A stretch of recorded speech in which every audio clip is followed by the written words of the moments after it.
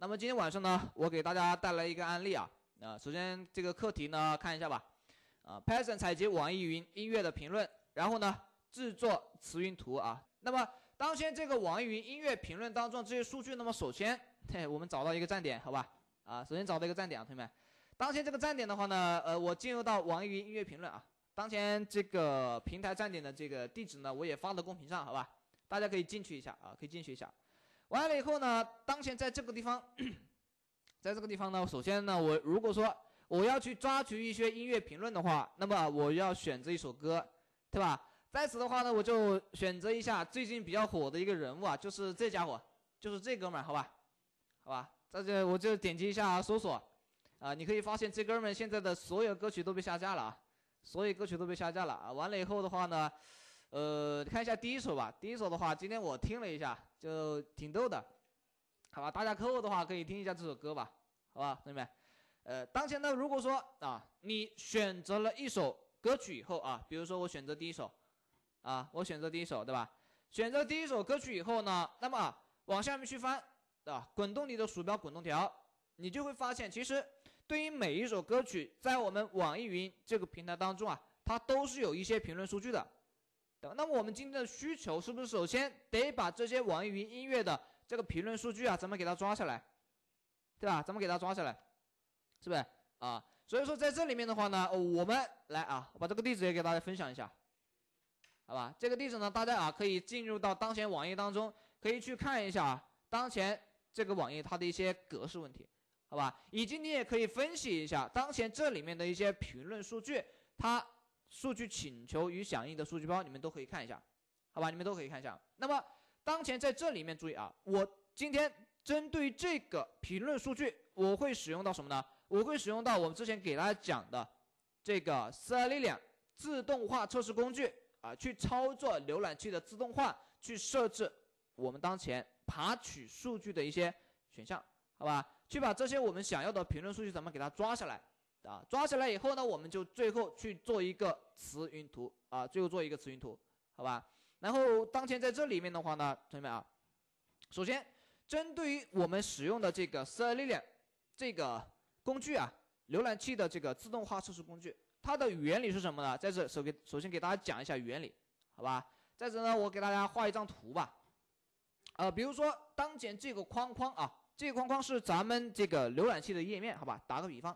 好吧，浏览器的页面，然后呢，这个页面当中的话，就中间画一个框框吧。这比如说是当前我们这个，呃，页面，啊，这个页面的话呢，给大家写一个图吧，页面，是吧？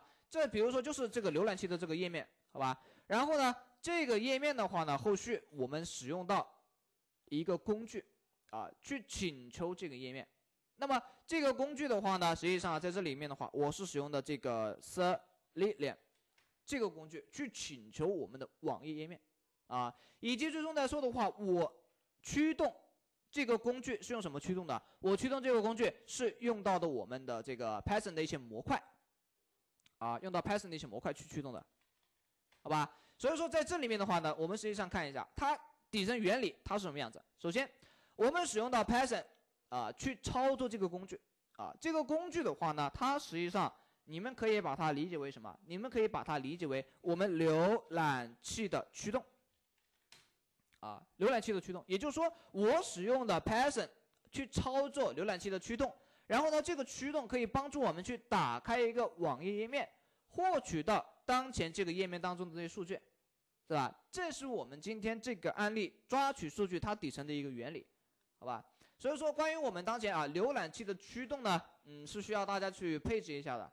啊，要根据你们浏览器的版本号啊，版本号。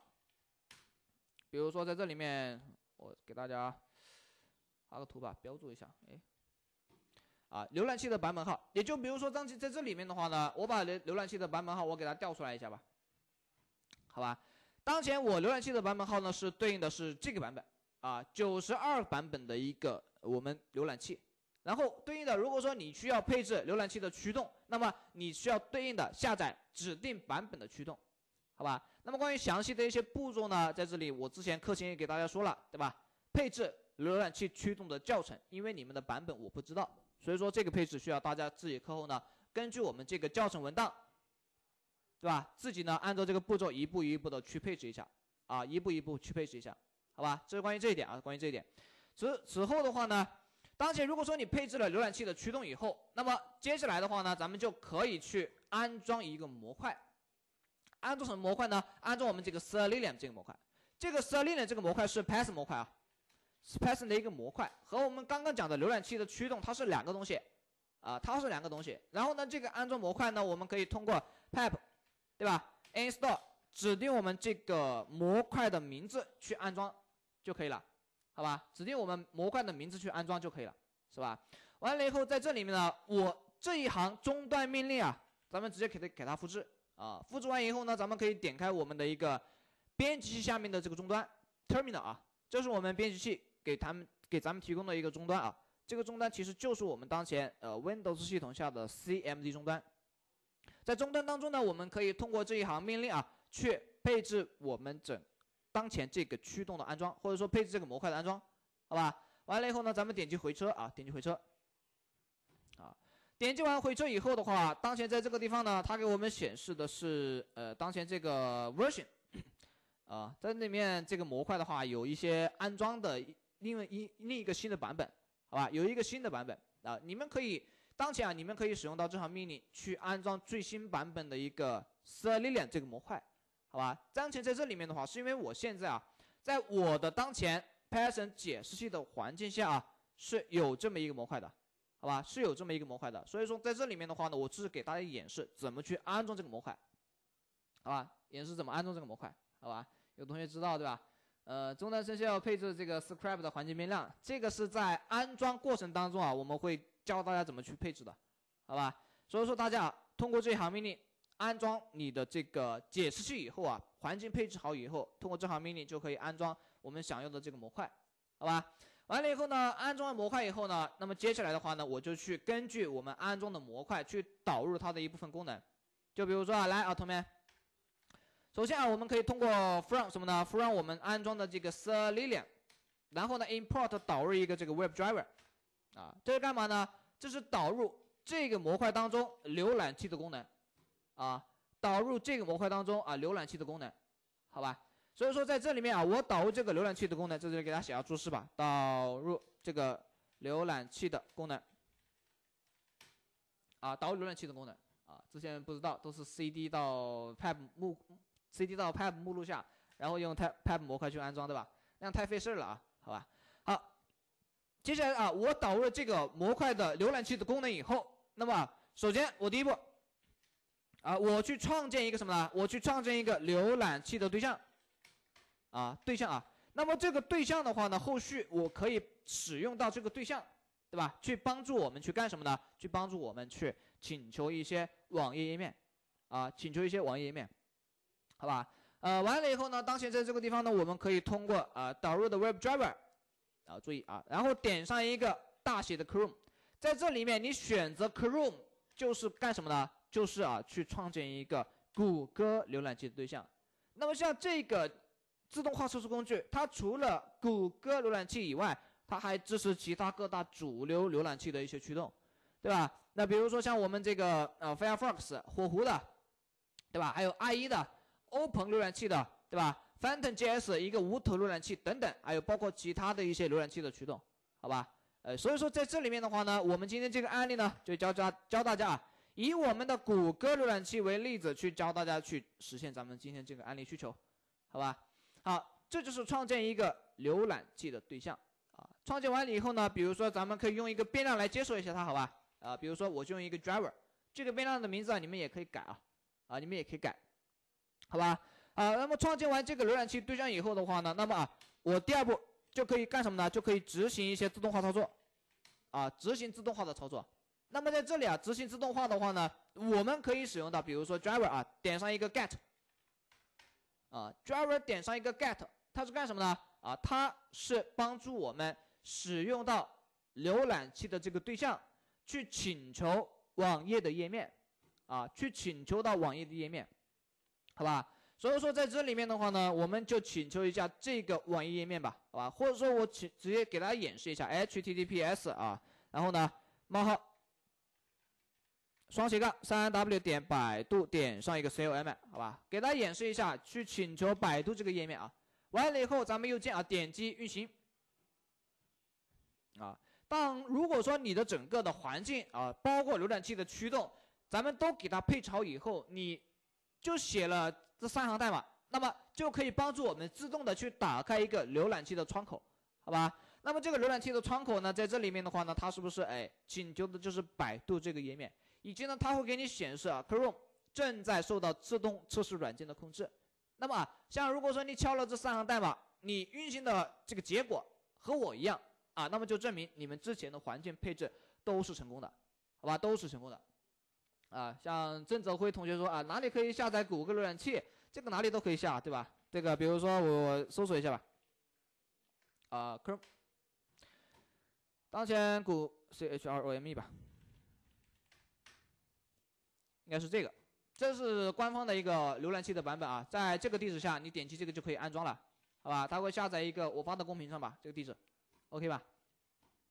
呃，像有同学可能 下载了一个盗版的，对吧？盗版的有一个，我记得有一个浏览器，它和这个图标非常非常像，它好像用的什么双核浏览器，对吧？这个盗版的大家不要用啊，呃，盗版的这个浏览器它是无法驱动的，好吧？无法驱动的。好，OK。呃，不是要孩子设不要设置浏览器的驱动路径嘛？呃，你像如果说啊，你按照我这个教程，好吧，你按照我这个教程，你给它配置好以后，你是不要设置浏览器的驱动路径的，好吧？啊，你按照这个教程安装配置一下就可以了，OK 吧？好，最终来说的话呢，啊，我执行自动化的话呢，我不要请求这个页面，对吧？啊，我不要请求这个页面，对吧？啊，然后呢，请求这个页，我是要请求当前这个页面。啊我要请求这个页面，最终在这个页面当中解析这些评论数据，对不对？解析这些评论数据，是吧？好，完了以后呢，我就把这一串地址啊，咱们直接把它粘贴到我代码当中。我请求这个页面，好吧？请求这个页面，好吧？呃，谷歌也打不开，打不开是因为你配置问题，对吧？为什么我能打开呢？对吧？呃，所以说在这里面的话，大家如果说啊，就你不会配置的话呢，一定要找我们的助理老师啊，好吧？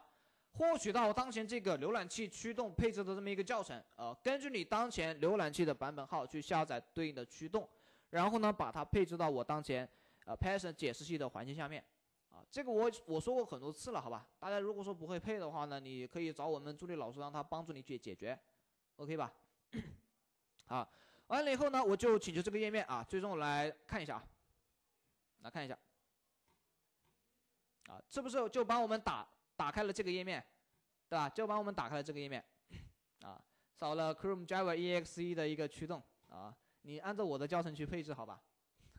好吧，按照我这个教程去配置，好吧？OK 吗？这个按照我的走是没有任何问题的啊，我可以百分之百给你们保证啊，对不对？好，然后呢，执行自动化的话呢，我请求完这个页面，对吧？啊，请求完了这个页面以后呢，注意啊，有一个问题。我需要的是什么呢？我需要的是当前这个页面当中的评论数据，啊，那么这个页面当中的评论数据呢？比如说呢，来我们去打印给大家看一下，来啊，咱们可以通过 print 去打印什么呢？打印我们 driver 啊，点上一个这个，呃，其中有一个方有一个属性啊，好像是其他属性，我来找一找，driver 点上一个。其他哪个属性啊？我我不记得了，一下子啊，page source 对啊，就它，好吧？Java 点上一个 page source，它是干嘛呢？它是获取到我们请求页面的 HTML 数据，对吧？获取请求页面的 HTML 数据，因为我们最终啊通过浏览器啊请求得到这个地址，打开了这个页面，那么我得到的数据就是当前这个页面返回的。HTML 数据，好吧？那么我给大家打印一下，啊，给大家在终端当中给大家打印一下啊。好，终端里面啊，打印出来的东西是不是就是这些 HTML 标签，对吧？好，那么在这里有一个神奇的东西啊，给大家说一下啊。当前在这里面呢，整个的 HTML 标签我们是不是已经有了，对吧？好，有了以后呢，来，我去找一找啊。当前这个评论。在我打印的 HTML 里面有没有？哎，在这里呢，你在这里去找，你是发现是没有的，啊，你是发现是没有的。那么这是一个什么情况呢？这是我们啊，大家在使用这个工具当中经常性的会遇到的一个坑啊，什么坑呢？在此呢，我给大家去解释一下啊，解释一下好吧？好，嗯，大家仔细听啊，同学们，这个不要掉坑里去了，好吧？给大家画张图。好，这张图呢就代表我们当前我们打开的这个 HTML 对吧？好吧，给大家写个注释，就代表我们打开整个页面，好吧？打开页面以后的话呢，其实啊，我们页面下它有一个概念，也是个什么概念呢？嵌套页面。啊，嵌套页面啊，给大家写个名词吧，就是，呃，嵌套页面。啊，那么嵌套页面是个什么情况呢？就比如说啊，我在当前啊最大的 HTML 这个页面当中，我可能还嵌套几个小的页面。比如说你们常见的有这么一个情况，就比如说顶部，呃，我们可以用一个嵌套页面去接收数据，是吧？然后呢，整个页面的这个身体部分也可以用一个嵌套页面。啊，去进行我们数据的展示，以及页面的尾部也可以用一个嵌套页面去展示。那么，当前在大的注意啊，在大的 HTML 下面，它可能嵌套小的 HTML，啊，小的 HTML，包括下面啊，下面也是小的 HTML，这个也是小的 HTML 啊，包括呢尾部也是小的 HTML，好吧？那么，针对于当前这里面的这个嵌套页面情况下，如果说你直接啊使用到我们当前这个 Selenium 工具，它是无法去获取到嵌套页面里面的数据，啊，无法获取到嵌套页面的里面的数据，懂我的意思吗？啊，也就是说啊，当前在这里面呢，我们当前这个 Selenium 啊，它无法获取到啊嵌套页面啊里面的数据。嵌套，啊，这个也不是无法获取到啊，它是无法直接获取到，对吧？所以说需要我们需呃去写一定的这个代码逻辑去获取到嵌套页面这里面的这个数据，好吧？这个知识点是我们今天啊最重要的第一个知识点，好吧？呃，关于这一点的话，大家一定要注意，别掉坑里了，好吧？OK 的。然后呢，呃，嘿嘿嘿，这位同学说，老师我刚来有录播吗？有的呀，啊，咱们今天的这个录播我现在正在录制啊，好吧？你需要的话，你现在好吧，添加一下我们这个助理老师，好吧，添加助理老师啊。然后的话呢，呃，如果说没有打卡签到的话呢，也可以跟着我，好吧，跟着我在我们公屏上打卡签到。打卡签到之后呢，你加上我们助理老师的微信联系方式，课后的话，这些录播回放资料啊，可以找我们助理老师免费获取，好吧？以及后面进来的各位同学啊，还没有添加助理老师，需要获取咱们今天。录播回放资料的同学，大家可以现在赶紧加一下，好吧？啊，赶紧加一下，好吧，同学们。好，OK，好。那么讲完这个知识点以后的话呢，那么接下来的话呢，后续，后续来说的话啊，咱们就直接啊去获取到嵌套页面这里面的数据。那么怎么去获取呢？首先来说的话，我们要通过这个 driver 啊，浏览器的对象，然后呢去切换进入到嵌套网页。那么它有一定的方法，比如说我 driver 点上一个 switch，switch to，然后呢点上一个 frame，啊，这个方法的话呢，它是进入到嵌套网页，或者说切换到嵌套网页，切换到这个嵌套网页，啊，切换到嵌套网页，好吧？呃，所以说在这里面的话呢，后续呢我们要通过这个方法去进入到嵌套网页，以及在这里面呢注意嵌套网页的话呢。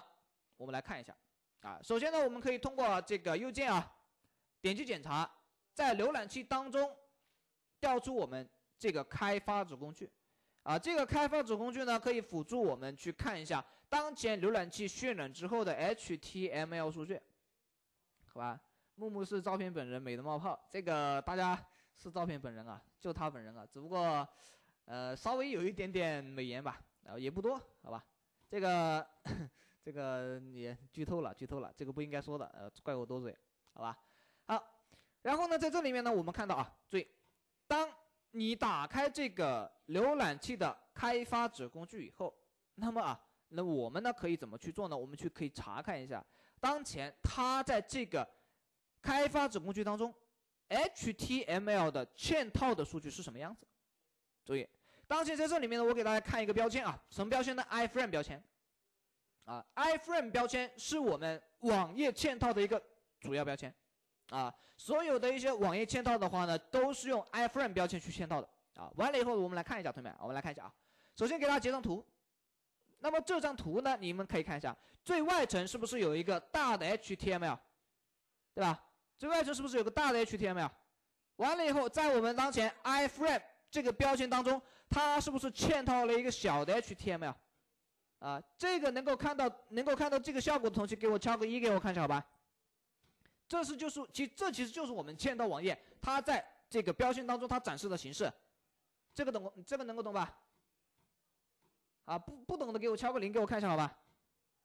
我担心有同学就是不好意思敲啊，有没有不懂的？有不懂的现在可以赶紧问啊！啊，看来看来都懂，哎，还是有不懂的嘛，对吧？大家不懂的话不要装懂啊，同学们，啊，不懂不要装懂，好吧？像这个郑郑什么郑郑泽辉同学对吧？可能呃基础可能没有没有那么牢固对吧？可能对于这些知识点可能不懂，好吧？呃，在这里面的话，同学注意啊。那么像我刚刚说了啊，嗯，如果说这一块你不懂的话呢，嗯，那么对于 HTML 你可能也不懂，好吧？那么其实这一块的话，其实是一个这个循序渐进的一个学习过程。好吧，你像有同学可能关于这个概念可能不清楚，它是一个什么意思，对吧？那么像呃 HTML 它是什么呢？啊，HTML 是我们当前这个网页展示数据的一个格式啊，它是网页展示数据的格式，好吧？然后的话呢，这里面有很多的标签啊，有很多标签。这里面其实啊有一些标签的话呢，它在我们开发网页的过程当中啊。它是需要遵守一定的一个规则的，就是什么数据对应的用什么标签，都是有它一一套流程规范的，好吧？这里面标签它的作用呢，就是展示数据，然后的话，这里面标签与标签之间它是有相互嵌套关系的。那么我讲的一个嵌套网页，它就是对应的在最大的这个 HTML 标签里面，它嵌套了一个小的 HTML，这其实就是我们当前整个网页它嵌套的一个形式。好吧，整个网页它嵌套的一个形式，OK 吧？所以说，当前针对这种网页嵌套形式的话呢，我们啊，那么对应的啊，要在我们当前代码当中使用这个方法切换进入到嵌套网页，啊，切换进入到嵌套网页，好吧？其实关于这一点，我们标签对吧？标签它里面的一些格式啊，对吧？包括呢，我们这些前端的一些标签，它一般的标签它代表什么意思？其实，在我们的 VIP 课程当中啊，后面也会给大家去讲的，是吧？比如说你们在开发网页，你们搭建一个网页的过程当中，那么也会涉及到这些标签它里面的一个形式问题，好吧？这个在我们这个 VIP 课程当中啊，老师也会详细系统的去教，好吧？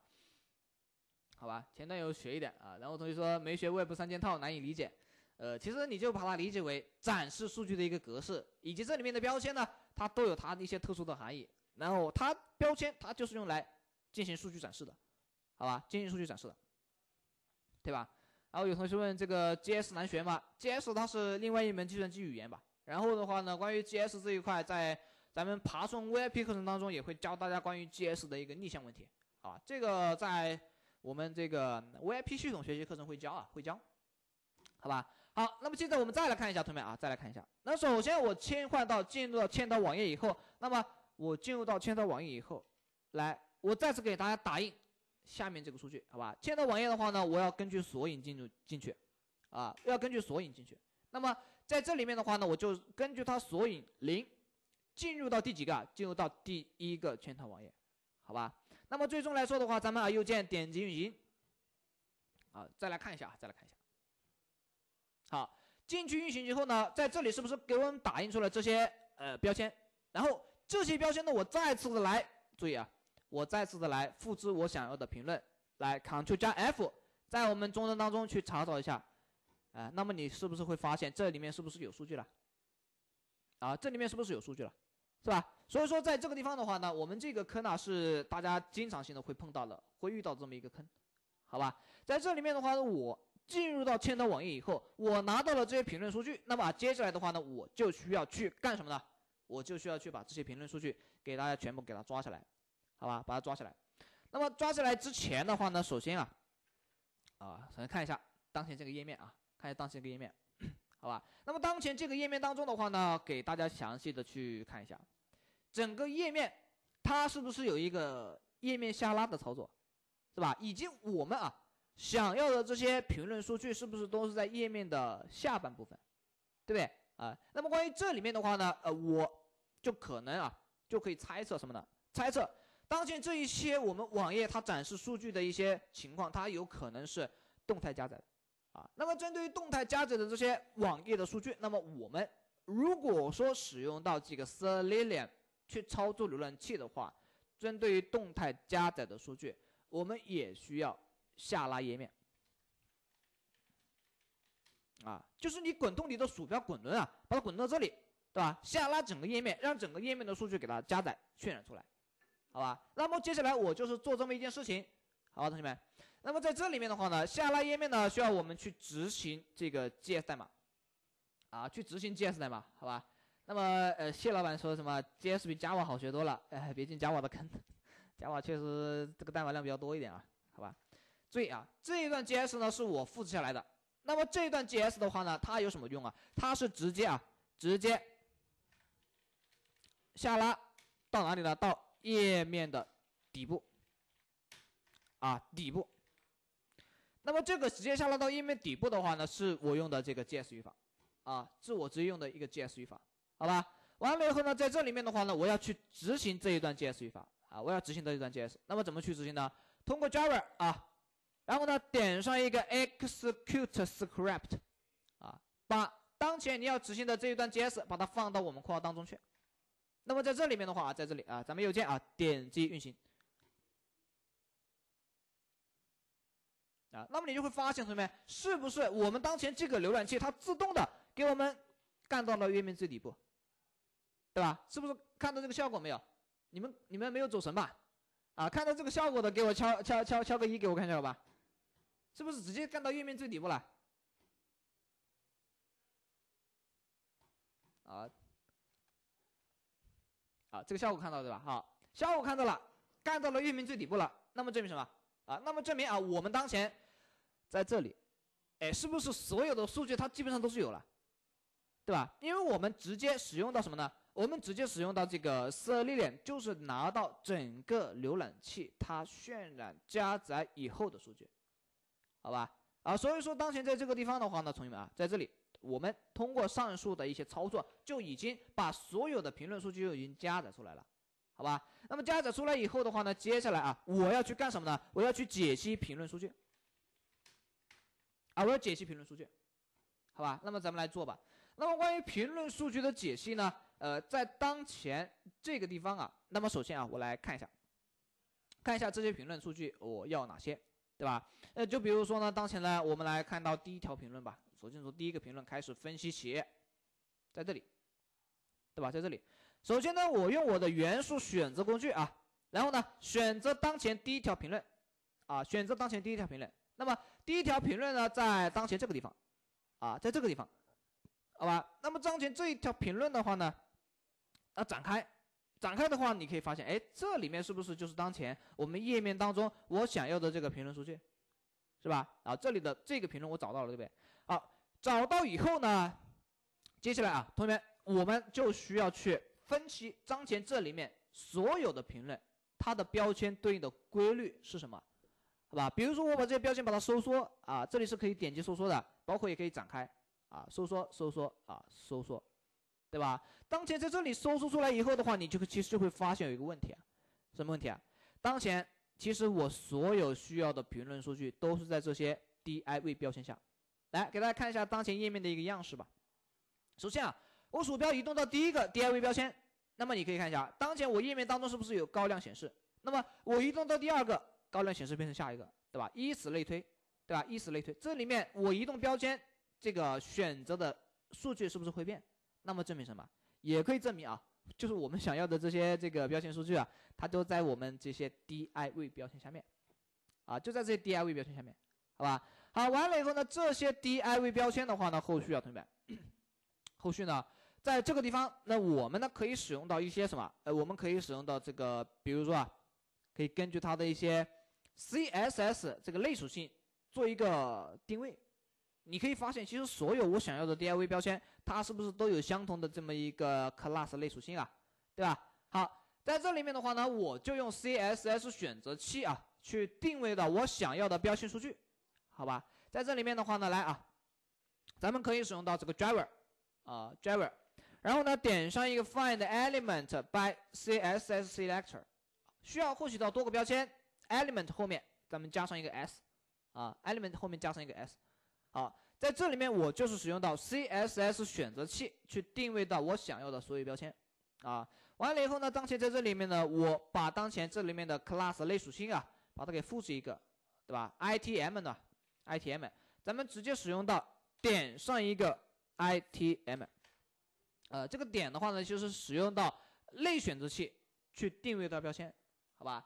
那么定位到标签以后的话呢，在这里，而我是不是获取到了呃所有的这个 div 标签啊？所有的 div 标签我都获取到了啊，我都获取到了，好吧？获取到了以后呢，比如说，我用一个 divs，我用这个变量去接受一下，就代表我们获取到了所有的 div 标签，好吧？好，已经获取到了所有 div 标签以后呢，我是不是要把每一个标签把它单独取出来，做单独的操作？所以说在这里面呢，啊，我构建一个 for 循环，就比如说我构建一个 for div，印一个 divs，啊，印一个 divs，好吧？那么在这里面的话呢，啊，在这里面的话，我把所有的标签把它便利出来，便利出来以后的话呢，我根据每一个循环便利出来的 div 标签，然后呢，同样的啊，调用它的这个 find element by css selector，我同样的用 css 语法去定位到我想要的评论数据，在这里你可以发现啊，我上面的 element 加着 s，我下面的 element 没有加 s，因为我下面我只需要获取一个标签。我上面是获取多个标签，所以说我需要加 s，啊，所以说我需要加 s，好吧？好，同样的在框内部当中啊，就写 css 的语法规则，去定位到我想要的这些标签数据，啊，去定位到我想要这些标标签数据，好吧？呃，那么其实像有同学其实也会有疑问啊，老师这是什么语法？啊，其实这是 css 语法，好吧？那么 css 语法有什么用呢？啊，它可以帮助我们去呃定位到。什么 HTML 的一个数据啊，也就是说，针对于 HTML 数据，那我们可以使用到 CSS 选择器去定位。那包括如果说你不喜欢用 CSS 选择器，那么你们也可以用 x p a s s 好吧？你们也可以用叉 pass 啊，甚至于你们可以使用到正则啊，甚至于你们都可以使用到正则，好吧？所以说在这里面的话，关于数据解析的方法，你们可以自行选择，好吧？呃，其实这几个方法在我们 VIP 课程当中也会详细系统的去教吧。好吧，确实关于数据解析这一块啊，你只只懂一个方法确实不得行啊，确实不得行，好吧？啊呃，完了以后呢，在这里面后续啊继续往下去提取啊，往下去提取。那么在这里面的话，我是需要这些评论数据的，对不对？那么评论数据在这个 div 标签发现没有？啊，在这个 div 标签，那么这个 div 标签咱们把它展开以后啊啊，展开以后，那么在这里呢，div 标签啊，它所包含的文本内容。是不是就是我想要的评论数据，对吧？是不是就是我想要的评论数据？所以说在这里面的话，我直接可以获取到 div 标签它包含的文本内容，就可以把我想要的评论数据把它获取下来。那么又因为当前这个 div 标签呢有一个这个 class 类属性，对吧？有一个这个 class 类属性。那么关于这个 class 类属性的话呢，我们可以直接用它啊，我们可以直接用它，好吧？完了以后在这里面的话，这个 class 类属性我要做一个定位。那么我调出我的 Ctrl 加 F 啊，Ctrl 加 F 呢可以使用到这个对话框这个框框去辅助我们写 CSS 的语法规则，好吧？去写 CSS 语法规则。那么在这里面的话呢，我直接啊，啊，我直接点上一个 CNT，然后呢这个空格我用点去代替，啊，我用点去代替，好吧？那么这里呢取到了三十五个结果，啊，取到了三十五个结果。那么这三十五个结果的话，对应的就是我想要的标签，把它展开以后是有这些评论数据的，好吧？是有这些评论数据的，发现没有？好吧？好，那么当前在这个地方的话呢，我就把当前这一段 CSS 语法啊，把它粘贴到我代码当中去。好，以及我获取到标签以后，那么后面呢，我要获取标签啊包含的文本内容，啊，获取标签包含的文本内容。啊，那么当前在这里面啊，注意啊，咱们直接点上一个什么？点上一个 text，啊，这个属性就是获取前面标签包含的这个文本内容，好吧？啊，那么我们获取到了以后呢，当其实这个地方呢，比如说我就用一个随便用一个变量吧，用 cnt 用这个变量去接收啊，接收完了以后呢，咱们通过 print 给大家去打印一下这个 cnt 啊，看一下我们想要的评论数据有没有获取到。啊，我们来看一下，同学们，我们来看一下，好吧？呃，前面是我打印的 HTML，我给它注释一下吧，这个我们不需要看了，对吧？HTML 给它注释一下，然后后面来说的话，是不是我想要的这些评论数据在这里是不是都有？对吧？在这里是不是都有？是吧？所以说，当前在这里面的话呢，我们啊，在这里啊，我们 拿到这些评论数据以后，诶，其实通过分析啊，它其实有一个问题，同学们，啊，它有一个什么问题啊？啊，你们可以发现啊，来。比如说啊，我们当前这个这是最后一条评论，对吧？啊，这最后一条评论啊，完了以后我给它关掉啊。最后一条评论我把它解析出来以后，那么你发现它不只包含了评论，对吧？它还有网名。哎，你们要网名吗？如果说按照我的需求，我只要评论数据，那么我就不需要网名。哎，我就不需要网名，好吧？所以说在这里面的话，后续啊，我要把这个网名给它干掉。啊，怎么干呢？同学们啊，注意啊，注意，在这里我就需要有使用到正则。啊，我在这里我就需要使用到正则了，好吧？呃，像关于我们这个正则表达式，它也能够帮助我们去解析定位到数据，好吧？要解析定位到数据，好吧？呃，所以说当前在这里面的话呢，我可以使用到正则吧？啊，包括有同学，呃，不要网名要割一下，呃，他想到了用字符串的分割，对吧？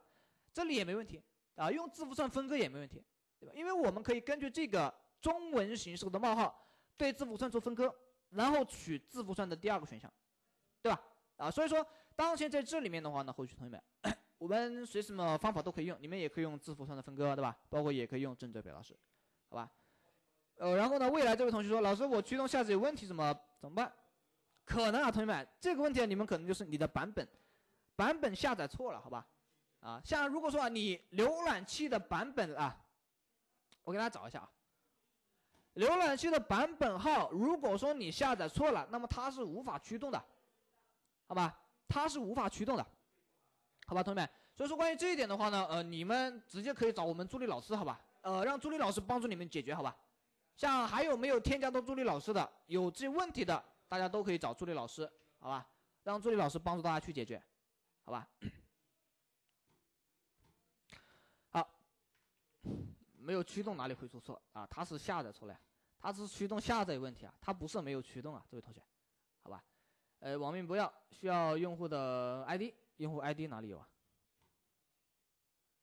这里面它没有用户的 ID 啊，这是它这里面只有网名啊，对吧？呃，如果说你要进入到用户 ID 的话呢，你进入到详情页当中，详情页它没有 ID 啊，那哪里有 ID 啊？没有 ID 啊，我这里没有看到啊，是吧？啊，所以说在这里面的话呢，这个 ID 的话呢，可能你想多了啊，肯定想多了，好吧？评论者的 ID 就是这个，就是这个用户的一个什么网名吗？嗯，哪里还有评论的 ID 啊？没有吧？这是网名啊，这个网名我们不要的，哪里还有 ID 啊？可以指一下吗？哪个地方？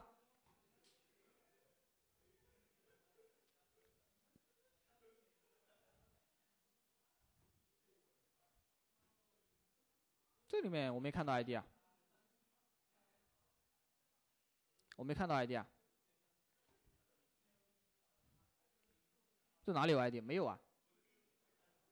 哦，在 DIV 里面，比如说随便选一个吧，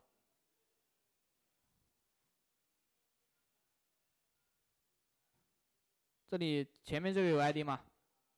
就这个 ID 嘛，啊，这个 ID 你需要对吧？啊，你需要的话，你可以自己把它解析出来嘛。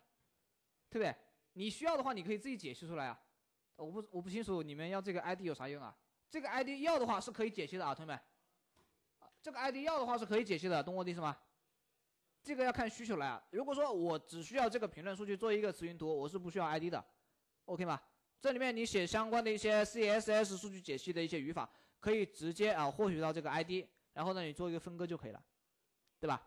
这是可以做到的啊，可以做到的。嗯，至于说看你们的一个需求。好，完了以后呢，在这里面呢，我把这个评论数据给它提取出来，好吧？我给它提取一下。那就比如说呢，呃，我用正则吧。啊，咱们来导入一下 R1 模块啊。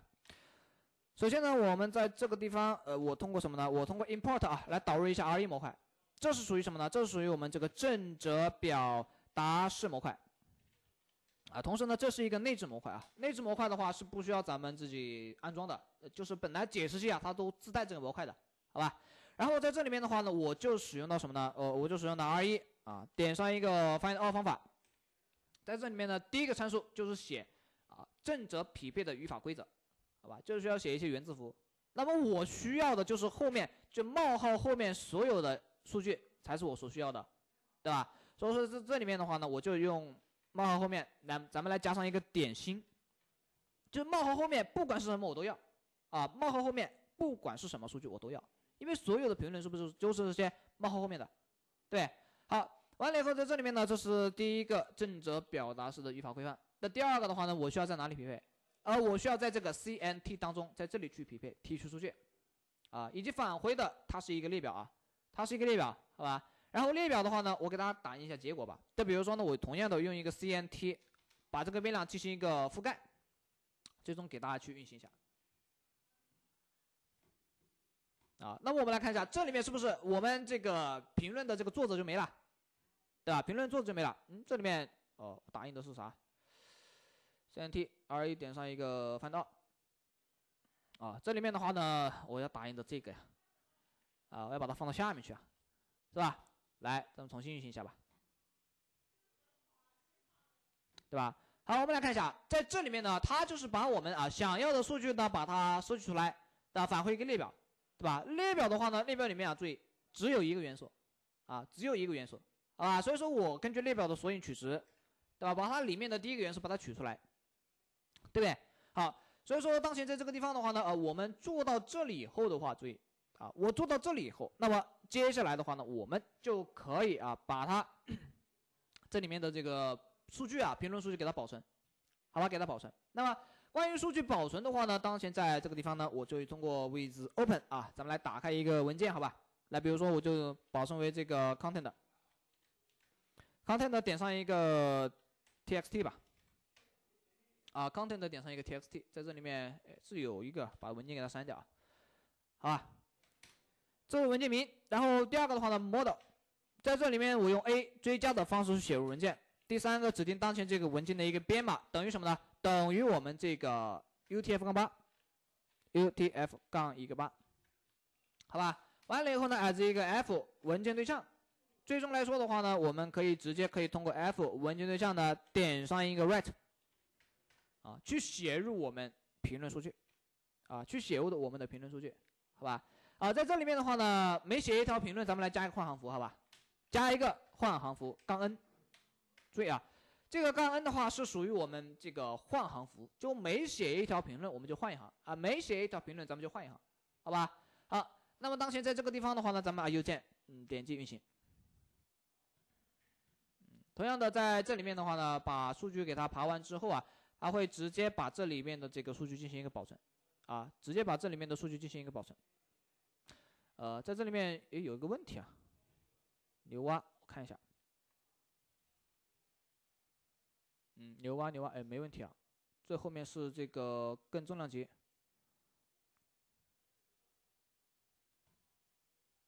哎，看一下我的这个数据，好吧，奈何做奈何做贼，这第几页啊？这第一页，看翻新刷新一下吧。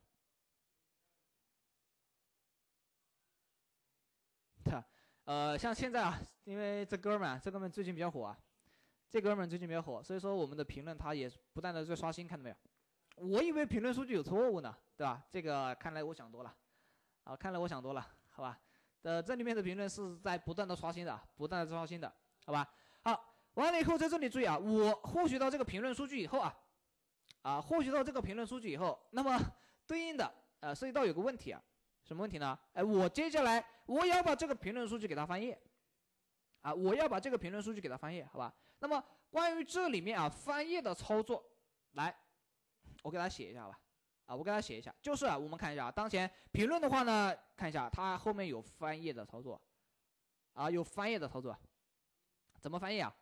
翻页的话呢，我们可以让浏览器自动的点击翻页，啊，让浏览器啊自动的点击翻页，同学们，好，当前在这里面呢，来啊。咱们呢，当前在这里啊，就看一下我代码逻辑该写到哪里。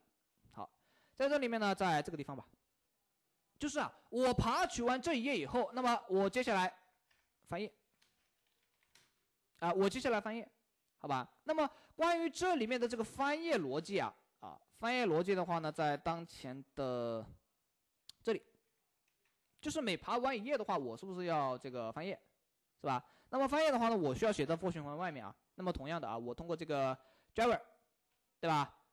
然后呢，点上一个 find element by css selector，好吧？在这里面的话呢，我就定位到一个下页的这个标签吧，好吧？当前这里面是不是有个下页标签，是吧？用一个下页标签，对吧？那么下页标签我来选中一下啊，我来选中一下。那么下页标签的话呢，有一个这个类属性吧，嗯，这个类属性的话呢，我们来看一下，呃，类属性的话有几段啊，有几段，那我可以随便随机选一段吧。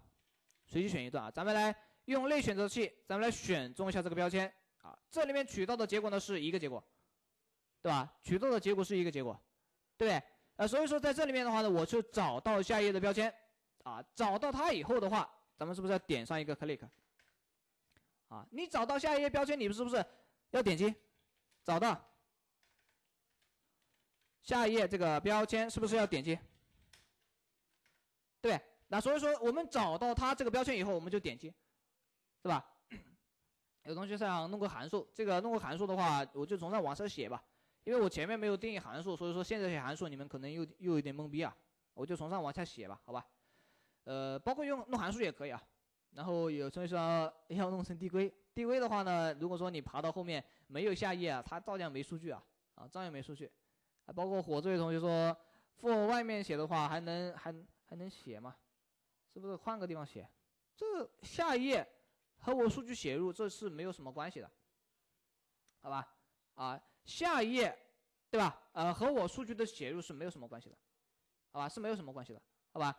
所以说当前在这个地方的话呢，同学们啊，在这里，那我就这一页数据跑完以后，我就点击下一页，啊，我就点击下一页，好吧？那么当前在这里面呢，同学们啊，当前这里面啊，我点击完以后，那么你想点几次？啊，你想点几次？当前这里面啊有这么多页数据，是吧？那么我们可以循环点击，啊，我们可以循环点击，同学们，这都是可以的，对吧？那比如说呢，我在当前啊四十五行这里，来，我再次构建一个 for 循环，对吧？比如说我构建一个 for page in 一个 range，在这里面的话呢，我就是用它干嘛呢？要来控制我们这个翻页，来控制我们翻页，就是你想翻几次啊，同学们？好，这个能够明白吧？就比如说我想翻，我想翻十页。那我想抓取前面十页数据，那么我就把下面这个逻辑把它依次的把它执行十次嘛，对不对？就依次把它执行十次嘛，是吧？啊，所以说当前在这里面的话呢，我们控制翻页是通过这个循环控制的，好吧？下面这个循环是干什么的？下面这个循环是控制我们数据抓取以及保存的，好吧？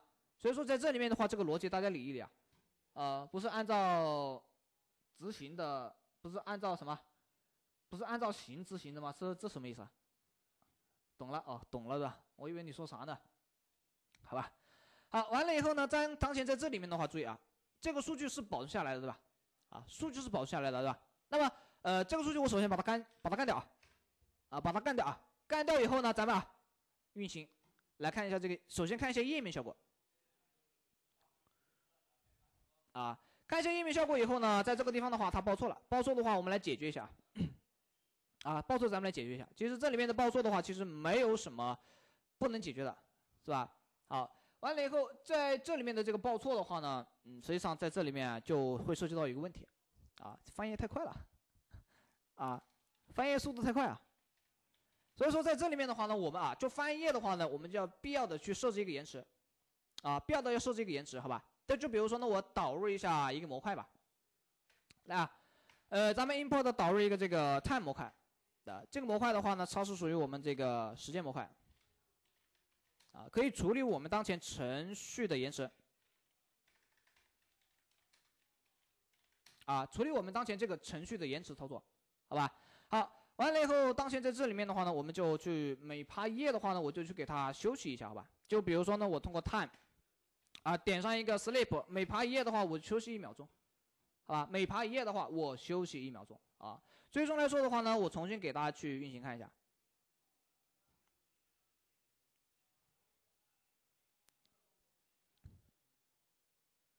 嗯，这里面又报错了，不对呀，看一下，这里面是这个地方报错，啊，CNT，哦，CNT，哦，这个地方也要把它搞下来，这个给给他套娃，给他套套迷糊了，对吧？是吧？你像上期上面这个，你翻页的话，这个东西要把它搞出来。啊，就是你翻页的话，上面你获取所有 DIV 标签，这里的逻辑你也要把它循环把它搞出来，好吧？啊，咱们来重新看一下，再看一下效果。嗯，这里面又报错了，看一下，这里是 ZNXT，找不到这个标签吗？解密太难，这不是解密啊，这不是解密。啊，咱们来看一下吧，咱们来看一下啊，呃，当前在这个地方的话呢，我是找到，我看一下我的一个主页面啊，好，看到看一下我的这个主页面，当前前面的话是获取这这个 DIV 标签，啊，获取这个 D ITM 标签，前面后面的话是提取到它那个评论所对应的标签，对吧？后面的话就是去提取评论，然后保存，保存的话呢，当前在这个地方。Find element by CSS selector，然后呢，ZNXT，然后点上一个 click，在这里面的话呢，呃，我不清楚啊，有一个问题，有个什么问题呢？就是啊，呃，我们啊，在当前，注意啊，就是你点击下一页之后，这里是不是有个加载？是吧？这里是不是有个加载？你加载这个效果看到没有？那么像数据加载的过程当中啊。呃，数据加载过程当中的话呢，它有一定的时间问题啊，啊，它有一定的时间问题。那么，呃，关于这个时间问题的话呢，啊，关于这个时间问题的话，我就设置一个当前浏览器的等待方法啊，Java 点上一个 implicitly wait 啊，这是浏览器的一个隐式等待方法。那那么它可以让让什么呢？可以让我们浏览器加载的时候啊，啊。让浏览器加载的时候呢，去帮助它去呃渲染页面，渲染页面，而且它的渲染页面的过程，它会等待，啊，它会等待浏览器渲染页面之后才进行这个下一步的操作，好吧？呃，所以说当前在这里面的话呢，呃，咱们来看一下吧，好吧？看一下这里面又有啥错误？这个 driver 点上一个 find element by CSS selector，看起来好像没啥错误啊。那么我代码逻辑再次运行看一下吧，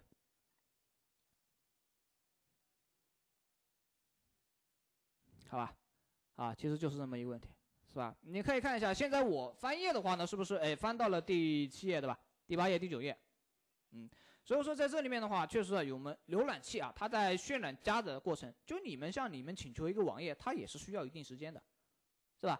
那所以说在这里面的话，你是不是要给它一定的时间去渲染加载整个网页？是吧？所以说有时候啊，关于啊使用到这个 Selenium 啊，使用到这个 Selenium 啊，它是欲速则不达。所以说有些很多情况下，我们要等待它渲染加载完，啊，等待它渲染加载完，好吧？所以说这里面的话呢，我们来看一下啊，我们来看一下啊，当前我就把我们当前啊这一十页的数据，所有的这些评论啊，我们就给它抓起来，好吧？那么抓起来以后，我们是有用的啊，啊，我们是有用的。好吧，所以说在这里面的话，后续同学们在这里，我们抓到收集数据以后，我们接下来要做一个这个词云图。